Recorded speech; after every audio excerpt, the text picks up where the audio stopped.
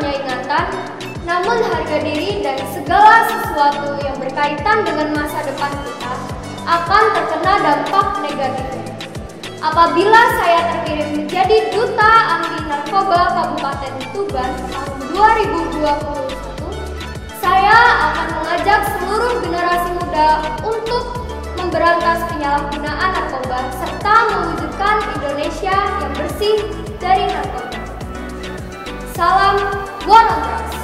narkoba.